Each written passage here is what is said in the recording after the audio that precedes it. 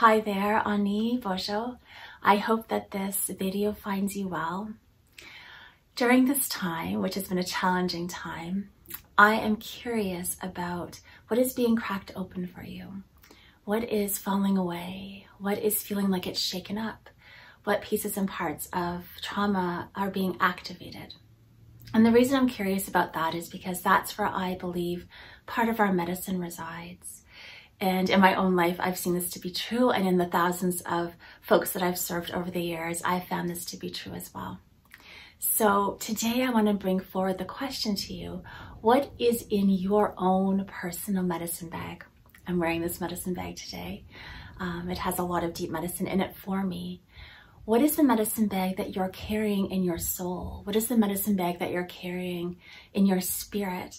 What is the medicine bag that has been passed on to you from your ancestors and your bloodline through your lineage? What flows through your sacred waters? Those are the questions that I think that we should all be asking ourselves as we have this time of pause, as we're cracking open and as new things are being revealed. So I have my eagle feather today because we are in eagle medicine. This feather was gifted to me by a medicine man that I highly respect and um, I, I learned from and I healed from. So it carries really deep medicine for me. Eagle shows up for me in my life over and over again. And I thought I'd bring some medicine for you as we connect to what's in our medicine bags. So Eagle tells us um, it's safe to spread your wings. You can connect to your higher self. The information channeled through from the stars and from your ancestors and from creator is valid and important. And you are being called up to rise and to share that in the world. So as I hold this eagle feather and as we call in this eagle medicine, again, I ask you, what is in your medicine bag?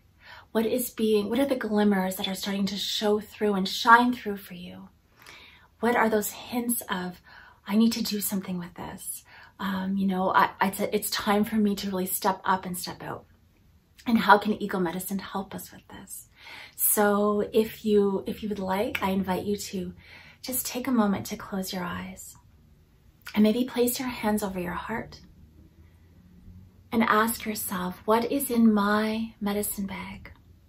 What tools and gifts and insights and wisdom have I uncovered during this time?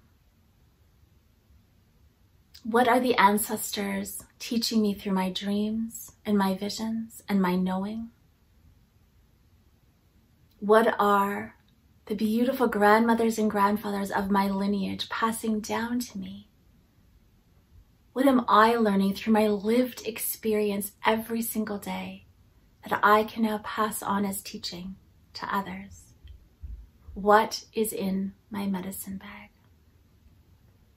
Breathing into that now. We're going to call on Eagle Medicine.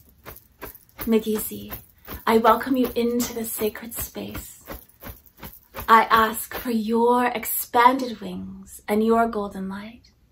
I ask for your brilliance and your beauty to channel down into our souls, into our bodies, activating that medicine bag that we hold within, activating that divine light and presence that we are meant to share and shine with the world.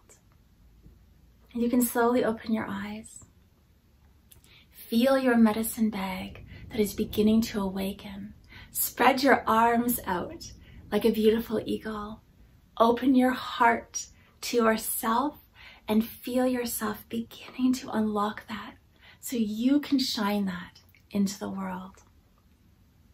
Eagle Medicine is here with you, helping you to spread those wings, to shine your heart space out, and to connect to those divine gifts that you are meant to serve with as you show up every single day. And it doesn't have to be complicated. I'll share one last thing before I go. I've sat with thousands in my, in my sacred circle, presence in people, just one-on-one -on -one appointments.